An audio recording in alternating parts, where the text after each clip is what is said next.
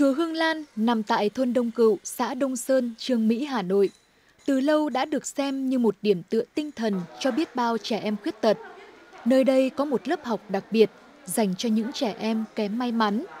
Trong không gian tĩnh lặng yên bình của ngôi chùa làng, cứ mỗi dịp cuối tuần lại vang lên tiếng cười tiếng nói của những em nhỏ khuyết tật đang được chắp cánh ước mơ tại lớp học tình thương của cô giáo Lê Thị Hòa và sư thầy Thích Tịnh Hậu.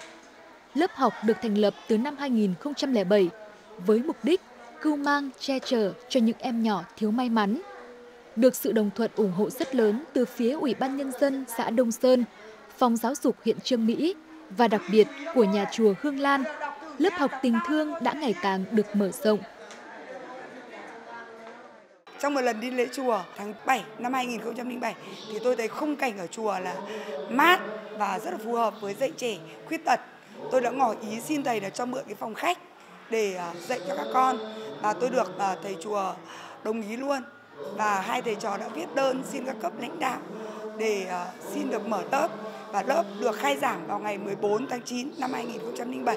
Tính đến nay là được 17 năm bước sang năm thứ 18 và tôi được uh, sư thầy rất là quan tâm giúp đỡ bằng mọi mặt.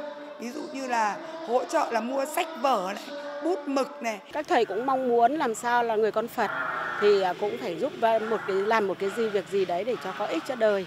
Thì à, đạo đời thì à, là đi đôi với nhau. Thì thầy thấy là có một số các cháu là hoàn cảnh cũng khó khăn, mấy một số các cháu là bị tật nguyền ấy. các cháu không được vào với môi trường của của như những bạn khác. Thì thầy cũng một cơ duyên là cô Hòa đi lễ Phật.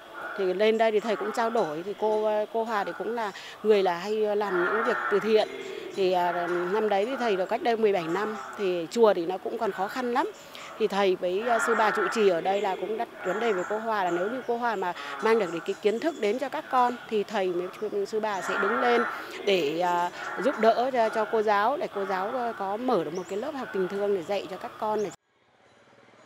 Mỗi buổi sáng thứ bảy và chủ nhật, sư thầy Thích Tịnh Hậu đều dậy sớm để quét dọn lớp học, chuẩn bị mọi thứ chu đáo, sẵn sàng cho giờ lên lớp của giáo viên. Những lúc rảnh rỗi hoặc cô giáo đi vắng, sư thầy lại thay mặt cho cô trông coi các em, giúp các em làm bài tập, kể những câu chuyện mang nhiều ý nghĩa nhân văn trong cuộc sống.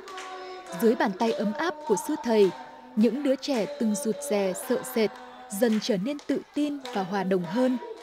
Bằng sự kiên nhẫn và tấm lòng yêu thương, sư thầy đã tạo ra một không gian ấm áp giúp những đứa trẻ mang trong mình những khiếm khuyết về thể chất và trí tuệ, những học sinh có hoàn cảnh không may mắn được học tập vui chơi và bớt đi những mặc cảm, tự ti trong cuộc sống. Thầy Thích Thịnh Hậu là một người thầy rất là tuyệt vời. Tôi đến dạy lớp tình thương này thì thấy thầy là rất là chu đáo à, với các cháu và dặn dò các cháu và à, thăm hỏi các cháu thường xuyên thầy rất chăm lo đến các cháu và kể cả các cô ở lớp tình thương à, cũng vậy. Là thầy luôn nhắc nhở các cháu và các cô à, để giảng dạy cho các cháu làm sao để cho nó tốt hơn. Và thầy luôn yêu thương các cháu. Như thể là các à, con cháu ruột thịt của mình. Thầy cũng rất là mong muốn làm sao mà lớp học của thầy là càng ngày là càng giúp được nhiều tất nhiều các em mà cái à, hoàn cảnh bị đau và tự kỷ à, à càng ngày để càng, càng nhân rộng ra.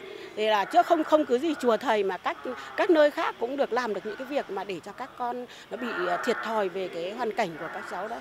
Thì là nó được đến lớp với bạn bè và nó cũng biết được cái con chữ.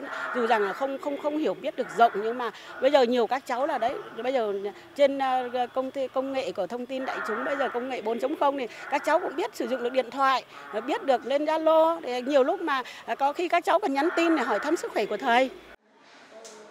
Lớp học tình thương, nơi tình yêu thương được gieo mầm và nuôi dưỡng là một lời nhắc nhở sâu sắc về giá trị của sự sẻ chia và lòng nhân ái.